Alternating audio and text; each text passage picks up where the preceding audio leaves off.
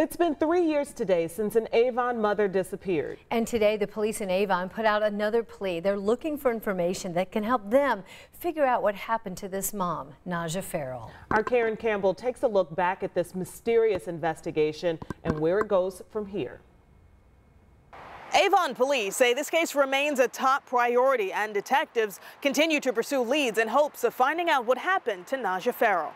Three years ago today, March 15, 2019, Najah Ferrell disappeared. She was last seen by her fiance and two young sons. The 30 year old mother was on her way to start a new job, but never showed up. One week after Najah went missing, investigators found her car on Indy's northwest side and some of her belongings scattered along I 65. Then, about a month later, men fishing in a retention pond near Crown Point, 100 miles north of Avon, found a severed foot. Police say it had a distinct tattoo. Tests revealed it belonged to Najah. Detectives then classified the case as a death investigation. Avon police tell us the Lake County coroner determined Najah lost her foot after she died. Ferrell's family told 13 News they will never give up hope.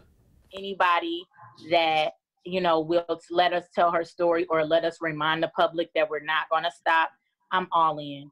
If you have any information on this case, police want to hear from you. You can call Crime Stoppers at 317 262 TIPS.